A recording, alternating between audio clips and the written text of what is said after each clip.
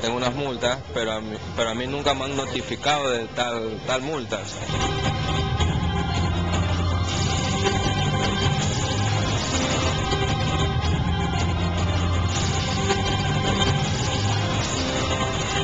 De la mañana con 17 minutos. Después de todo un trabajo de investigación donde se demuestra que la Comisión de Tránsito del Ecuador cobrará intereses por infracciones de tránsito que no habían sido notificadas, la institución toma correctivos.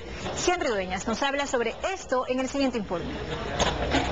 A una citación dicen al ser Huancavilca que ninguna calle coincide. 90 horas tuve que pagar para que me den mi matrícula. Un error de, de tipeo parece, pero no es uno, son varias multas. ¿Cuántos días va perdiendo entonces? Tres. Los que me quedan por perder. Aquí me ha puesto como que he estado mal parqueado fuera del centro comercial. Pero usted ahí no hay, no hay cómo parquearse. Pero a mí nunca me han notificado de tal, tal multas. De repente, multas con intereses. Y la Comisión de Tránsito del Ecuador acepta equivocaciones en su proceso operativo. Se han corregido algunos, algunas fallas, estuvieron en el sistema algunos días.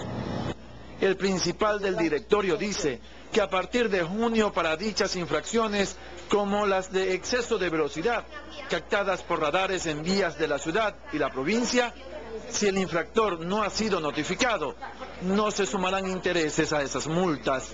Desde el día 30 de mayo ya está establecido un procedimiento mediante el cual los intereses serán cargados al usuario que ha cometido la contravención posteriores al día en que se los notifique.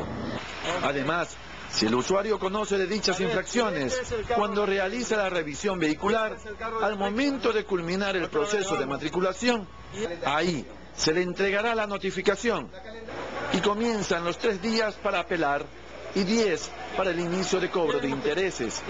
Te van a entregar una notificación. ¿Cómo esta? Sí, un, un, un documento en el cual est estará detallada las citaciones, más que nada las que son por radar, que son las que el, el vigilante no te puede entregar en ese momento. Entonces, es donde habían los problemas. ¿Dónde existen De los inconvenientes? Así es. En el caso del calendario de dígitos, ejemplo, en junio el último dígito es 5, y si usted cumple los requisitos de matriculación el 27 del último día del mes, entonces tiene los tres días de apelación, más 10 para el pago de las infracciones, y durante ese periodo no le cobrarán la multa de 50 dólares por retraso en la matriculación vehicular por el calendario de dígitos. A la multa por calendarización, sino después de los 10 días posteriores al mes que le tocó. El caso de aquellos que hoy día... Hablamos de los 50 dólares de, de los 50 dólares de multa, así es. Esa será una justificación porque hay como demostrar que tú te acercaste a revisar el vehículo dentro de la, de la fecha que te tocaba. Sobre los problemas del sistema en línea, se comprometen cambios. Yo creo, que, yo creo que actualmente ya lo estamos haciendo, estamos dando un mejor servicio del que estaba antes.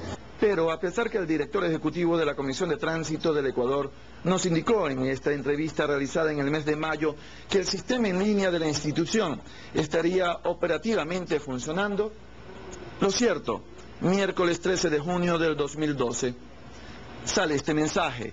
El servicio no está disponible en este momento por mantenimiento. Intente más tarde, por favor. Son las denuncias que llegan al Twitter de Ayúdame Henry.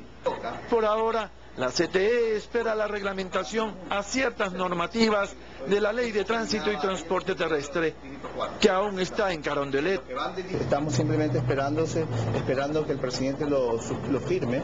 Y... y con todos estos nuevos cambios que incorpora la Comisión de Tránsito del Ecuador, para quienes no han sido notificados en sus infracciones de tránsito, he decidido pagar las mías. Claro, aún está por verse cuando la Comisión de Tránsito del Ecuador me devolverá los intereses que no estaban reglamentados, que no tenían sustento legal. Todo un trabajo periodístico, un compromiso por los cambios en beneficio de la comunidad.